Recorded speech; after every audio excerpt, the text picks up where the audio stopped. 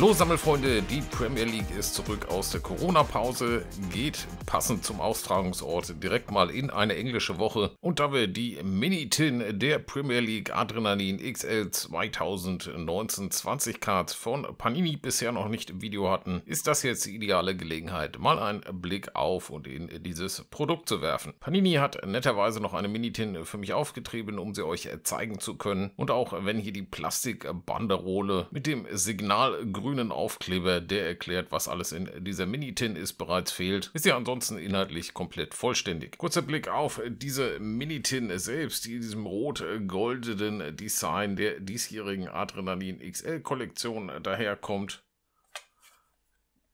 Kurzer Blick auf die Rückseite, damit wir die auch einmal im Bild hatten.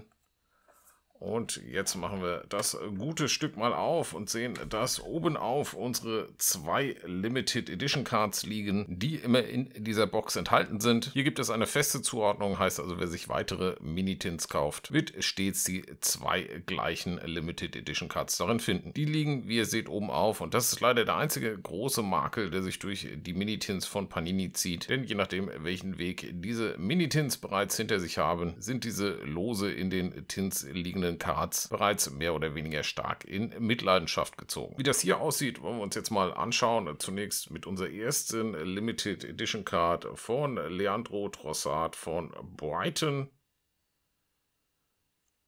Und die zweite Limited Edition Card ist Mohamed Salah von Liverpool. So, und wenn ihr euch jetzt mal die Ecken anschaut von einer solchen Karte, dann seht ihr, dass das hier alles schon leicht gebogen und angestoßen ist. Muss es mal ein bisschen anders halten, dann wird das auch entsprechend scharf in der Kamera. Und bei Trossard ist es nicht viel anders. Da haben auch leider die Ecken schon ein wenig gelitten. Insgesamt gesehen ist das hier noch einigermaßen im Rahmen, aber es gäbe sicherlich Möglichkeiten, wie sich sowas mit relativ geringem Zusatzaufwand vermeiden ließe und jeder Sammler dann auch deutlich mehr Freude an diesen Cards hätte. Das ist also wie gesagt das grundsätzliche leidige Problem von eckigen Karten in einer abgerundeten Minitin. Und mangels des vorhandenen Aufklebers haben wir jetzt natürlich am Anfang gar nicht erwähnt, was sich sonst so drin befindet. Ihr seht, sechs Booster sind noch in dieser Mini-Tin enthalten. Also eine richtig umfangreiche Bestückung für eine solch kleine Metalldose. Und der Preis für eine solche Mini-Tin liegt bei 6,99 Pfund. Und Panini bietet sie im deutschen Online-Shop sogar etwas günstiger an. Denn mit 6,99 Euro ist das Ganze im Währungsvergleich etwas günstiger. So, jetzt wollen wir natürlich natürlich noch wissen, was wir an Special Cards aus unseren Boostern ziehen. Für alle, die noch nicht so viel zu der Kollektion gesehen haben, hier nochmal die Übersicht, was in einem solchen Booster enthalten sein kann. Jetzt legen wir los.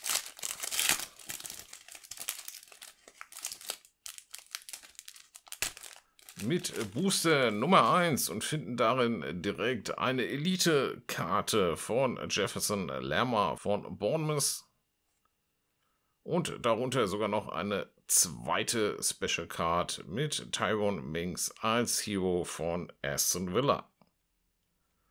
Das geht doch schon mal gut los mit zwei Special Cards. Und unsere Base-Karten sind dann noch James McCarthy von Everton, Joe Hart von Burnley, Charlie Daniels von Bournemouth und Pierre-Emerick Aubameyang von Arsenal. Weiter geht's mit äh, Booster Nummer 2. Und hier ist sogar ein bisschen was umgedreht.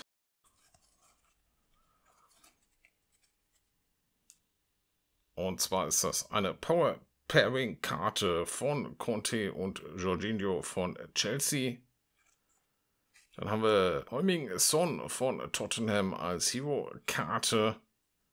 Ryan Fraser von Bournemouth, Rob Holding von Arsenal, Jet Steer von Aston Villa und Shane Duffy von Brighton als Basecards.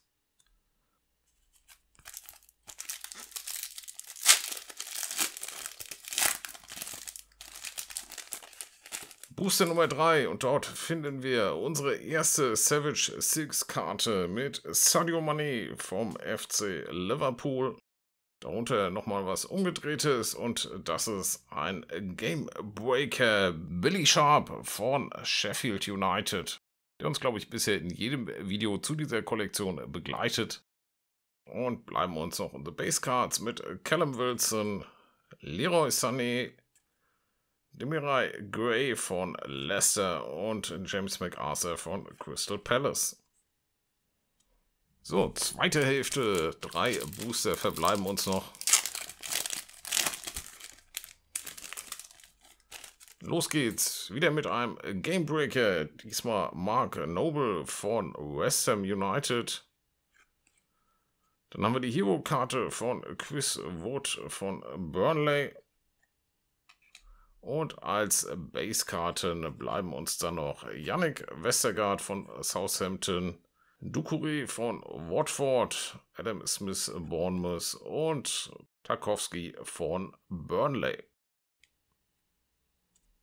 Vorletzte Booster Hm, der zerlegt sich ein bisschen ungewohnt.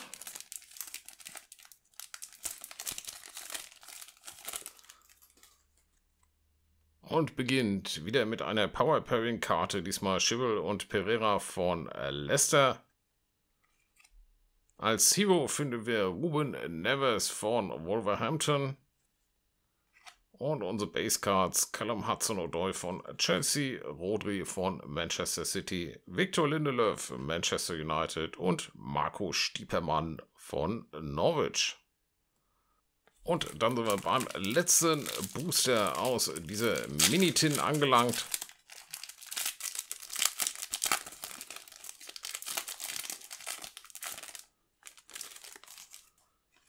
dem finden wir einmal die Spielregeln und noch eine weitere Savage Silks Karte von Raheem Sterling von Manchester City. Und darunter eine Top-Keeper-Karte von Kepa Arrizabalaga von Chelsea. Bleiben noch vier Basecards. Willy Bully von Wolverhampton, Trezeguet von Aston Villa, Wayne Hennessy, Crystal Palace und Ricardo Pereira von Leicester City. So, und mit zwei Savage Silks und zwei Gamebreaker-Karten sind wir, glaube ich, auch richtig gut aus diesem Unboxing gekommen, wenn man bedenkt, dass diese Karte nur in jedem sechsten bzw. siebten Booster enthalten sein soll. Und auch bei den Hero-Karten liegen wir leicht über dem auf den Boostern angegebenen Schnitt. Von daher die Mini-Tin ein Produkt, was sich preislich auf jeden Fall rechnet. Wenn man die Limited Edition Cards sammelt, wird man sie sicher ohnehin einmal mindestens holen. Einziger kleiner Schönheitsfehler bleibt, wie gesagt, dass diese Limited Edition Cards lose oben aufliegen und daher oft schon leicht bis deutlich in Mitleidenschaft gezogen sind, bis man sie wieder aus dieser Minitin befreit. Euren Eindruck zu dieser Minitin und den enthaltenen Karten gerne unten in die Kommentare. Ich freue mich da auf euer Feedback, genauso wie über ein Däumchen nach oben für dieses Video. Vergesst nicht, den Kanal zu abonnieren abonnieren, wenn ihr künftig nichts verpassen wollt. Und dann sehen wir uns zum nächsten Video wieder. Bis dahin, macht's gut. Tschüss.